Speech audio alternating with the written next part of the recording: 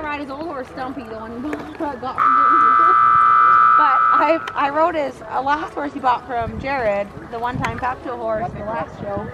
He just took him and, the, and his little sweet little Pepto there, and. I mean, I, I don't think it really matters what you ride Ellen's. you're, pretty, you're pretty well mounted, so. He rides good though. He keeps them honest. He, he, he does. He has good horses.